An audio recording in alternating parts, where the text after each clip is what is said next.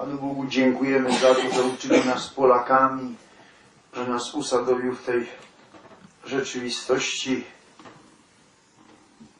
że przychodzi nam żyć w radościach i dramatach ojczyzny. Największym dramatem, którego tak niewielu widzi, to jest niewola Polski. Wysublimowana, wyniesiona na wysokie pułapy.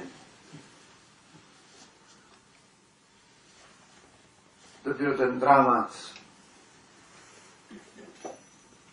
zrozumiemy przy ciężkich doświadczeniach.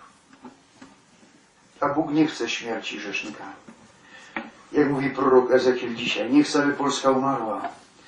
Wyciąga ręce, daje ofertę, zachęca do żartw ofiarnych za ojczyznę, za Polskę i mówi, że potrzebuje grupkę szaleńców, którzy są w stanie tę ziemię uratować i pomóc. Stąd też tak bardzo dziękuję, że dzisiaj kilkanaście osób przystąpi do żertwy za ojczyznę. Modlimy się, aby się Polacy nawrócili, wrócili do Pana Boga, porzucili błędne grzechy, bo Bóg im wszystko wybaczy. Kiedy pójdą w swojej zapalczywości, naśladując wszystkie obrzydliwości świata i Europy, do której zostali wysłani, pyta się Pan, czy będzie taki występny żył? Umrze z powodu nieprawości. Dlatego nasza bitwa